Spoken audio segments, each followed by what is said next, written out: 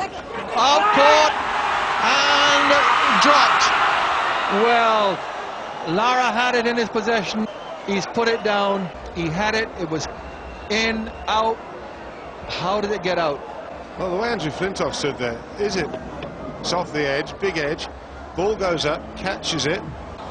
Well, he was going to throw it, the ball. Now, I'm actually wondering whether that's under control. Rule says you have to have the ball under control.